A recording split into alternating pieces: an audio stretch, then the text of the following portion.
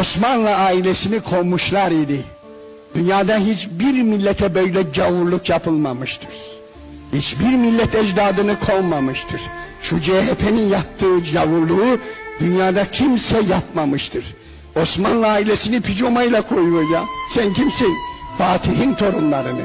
Koskoca Casufa, Padişah Vahdettin tek bir kuruş almadan gidiyor. Gece pijamalarla trenlere bindiriyor. Yalvardı Osmanlı şehzadeleri, kadınları, erkekleri yapmayın bizi Avrupa'ya kovmayın. Osman Gazi hürmetine ya, dedemiz hürmetine bizi Ürdün'e sürün, Suriye'ye sürün.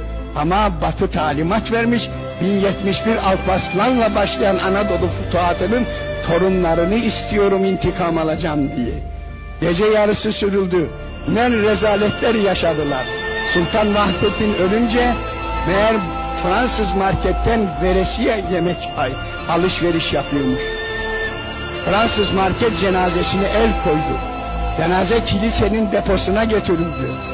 Suriyeli, Tunuslu, Mısırlı taksi şoförleri duymuş bunu.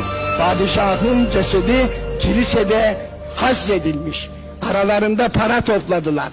Aralarında para topladılar ve hazzi kaldırdılar.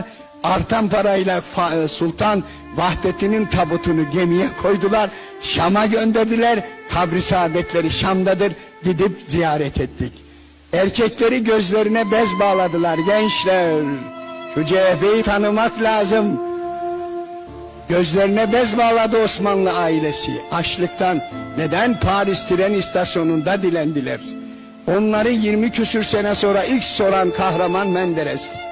Başbakan olur olmaz uçağa atladı Paris'e gitti. Dedi analarımı babalarımı bana gösterin. Gittiler gittiler Paris'te bir kasabaya.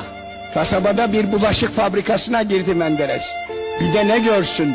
Sultan Abdülhamit Han'ın 85 yaşındaki hanımı Şefika Sultan, 65 yaşındaki kızı Ayşe Sultan, Osmanlı kadınları işçi olmuş, bulaşık yıkıyorlar açlıktan.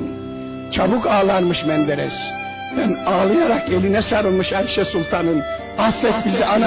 Sen kimsin demiş Ayşe Sultan. Ben Türkiye Cumhuriyeti Başbakanı deyince kadıncağız se- anamız sevinçten tabakları atıyor ve nerede kaldın oğlum diyerek bayılıyor. Menderes Ankara'ya gidince evine gitmeden köşke çıktı.